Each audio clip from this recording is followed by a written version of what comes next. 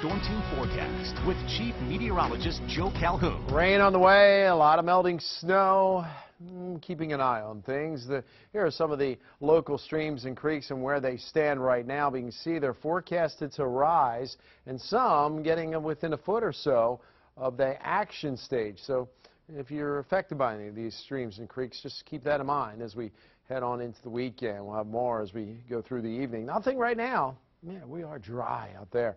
Just crystal clear. Beautiful day, but yeah, rain will be on the way over the next couple of days. Everybody got up near 50 today. Not bad. 46 in Reading and Coatesville at this hour, but it's 52 in uh, Gettysburg, 55 degrees in Chambersburg, 51 in the capital at this hour. As we pull on out, again, it's pretty dry all across most of the Northeast. This is the system we're watching. You can see how the moisture is pouring in off the Gulf of Mexico, and that's going to continue to move north. There's a, an area of storminess right over parts of Louisiana, and that's going to start to move to the north. Another storm coming in from the north will pick it up and move it over us. And it looks like we're going to get some wet weather as we go through the next couple of days, particularly tomorrow night, heading right into the day on Saturday. But look at our Gettysburg Skycam. That's a pretty picture, isn't it? It's just kind of nice out there. A little bit of a breeze today, but that's starting to diminish. That'll be the case as we head on through the evening. Gettysburg right now at 50 degrees. 9 degree dew point. The air is very, very dry. 19% relative humidity.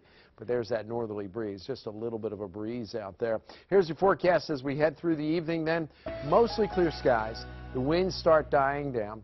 So the temperatures will drop pretty quickly into the 40s and then probably in the mid 30s by about 10 o'clock tonight. I think overnight we're a little chilly. Nothing we're not used to of recent weeks. 20s to near 30 degrees for uh, the overnight lows. Then tomorrow, I think it's a, a, nice start to the day. Some sun, a little cool. Then the clouds come in. We still get to near 50 seasonal temperatures. Look for the rain to start probably after it gets dark. So we're a little slower on the rain, but it, it looks like it only sticks around into at least uh, probably the first half of Saturday. Here the, here's the predictor showing the numbers starting to fall into the 30s as we go through about 10 o'clock tonight. Then overnight, we're still clear. And that allows the temperatures to drop into the 20s. So kind of a frosty cold morning tomorrow morning. But then as we go through midday, we get up into the 40s. A little bit of high-level cloudiness coming in around lunchtime, and then the clouds really start to thicken. By this time tomorrow, we'll be overcast, and we'll be probably in the lower to mid-40s still. Then the rain starts coming in. That comes in as we go through the evening hours. Kind of a rainy, kind of raw tomorrow night heading into Saturday. Temperatures in the 30s and low 40s for a while. But gradually on Saturday, we should get back up there near that 50 degree mark. So again, the rain comes in probably tomorrow evening after dark. It sticks around, at least the steadier rain, we think, into the first part of Saturday may taper to just scattered showers as we get into the afternoon. About 48 degrees on Sunday. Still got to leave the, at least the risk of a, a shower in there. A little cooler, too, and a brisk wind on, on Sunday. Monday looks nice.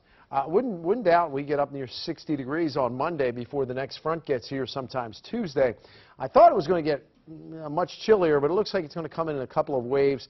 But I do expect below normal temperatures by the end of next week and into next weekend. In the meantime, our kids' art from tonight comes from Luis Rodriguez from Lampeter Elementary School. He's eight years old and looks like uh, maybe a few lightning bolts coming out of those clouds. Not quite getting that yet, but we will get some rain over the next couple of days.